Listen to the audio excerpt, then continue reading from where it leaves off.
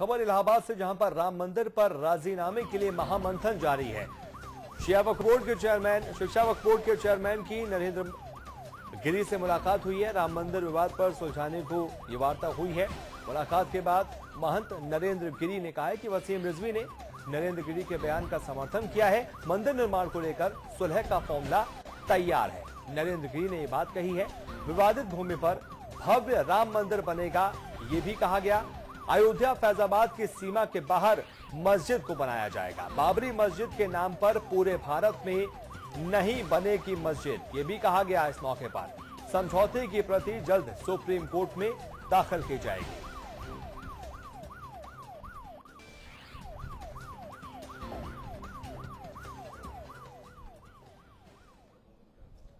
दोनों हैं सिया भी हैं, सुन्नी भी हैं। देखिए, जो एक बताएँ आपको सही माने में तो सिया ही मुख्य रूप से वक्तकार है। सुन्नी बोर्ड का तो खारिज हो गया था। वो तो हासिम अंसारी ने अलग मुकदमा किया था। ध्यान क्या आपका हासिम अंसारी जो मुकदमा किया व्यक्तिगत मुकदमा किया था उन्होंने वो सुन्नी बोर्ड से मुकदमा नहीं किया था। तो आ, मेरा ये कहना है कि जैसे भी हो मैं तो कहता हूँ कि सुन्नी बोर्ड के जो चेयरमैन हैं या जो उनके मेम्बरान हैं उनके समुदाय के लोग हैं मैं उनसे निवेदन करता हूँ कि अब राम नाम और मस्जिद के नाम पर लड़ाई मत लड़ाइए। हमारा स्थान है, हिंदुओं का स्थान, पवित्र स्थान है वो। और हम मक्का में थोड़ी कुछ मांगने जा रहे हैं। सब जानते हैं कि भाई, राम का, लला का जन्म अयोध्या में हुआ। कल अगर हम कहें कि मक्का में मेरे राम जन्म मत तो मानो क्या? तो आप इस बात को मानते क्यों नहीं हम उन लोगों से कहते हैं। निवेदन कर रहे हैं माने और राम मंदिर का रास्ता निर्माण कार्य सुलहनामा पे एक तरह से अच्छी प्रक्रिया होगी, पहल होगी और पूरे विश्व में अच्छा संदेश जाएगा।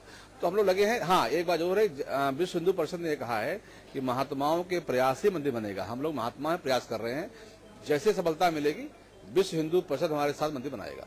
देखिए अखिल भारतीय अखाड़ा परिषद के माननीय अध्यक्ष जी से आज हमारी बैठक हुई है इलाहाबाद में, और उन तमाम पहलू पे विचार हुआ है कि अयोध्या में किस तरह से मंदिर निर्माण को शुरू कराया जा सके। शिया वक्फ बोर्ड का पहले भी यही कहना था कि अयोध्या में मंदिरों के बीच पर एक नई मस्जिद को बनाने का दावा नहीं करना चाहिए। किसी भी किसी भी अयोध्या और फैजाबाद के किसी भी पार्ट में। वो अगर ऐसा होता है तो वहाँ पर एक नया विवाद फिर से जन्म लेगा, जो हमारी आने वाली नस्लों के लिए खतरनाक होगा। तो लिहाजा अगर मामले को खत्म करना है तो अयोध्या में सिर्फ़ राम मंदिर का निर्माण होना चाहिए और मस्जिद का निर्माण मुस्लिम आबादी में अयोध्या की जो धार्मिक परिक्रमा है, उनकी सीमाओं से बाहर कहीं पे होना चाहिए। इन चीज़, इस चीज़ों को लेकर हमारा डिस्कशन मंदिर निर्माण पक्ष से चल रहा था और ज़्यादातर सब लोग इस बात पे सहमत हो गए हैं कि अयोध्या फैजाबाद से दूर हटकर अगर मस्जिद को बनाया जाता है तो उनको इसमें किसी तरह का कोई एतराज़ तो मंदिर निर्माण को लेकर सुलह का फॉर्मूला लगभग तैयार है। अखाड़ा परिषद के अध्यक्ष ने यह बात कही है। मुलाकातों का दौर लगातार जारी है।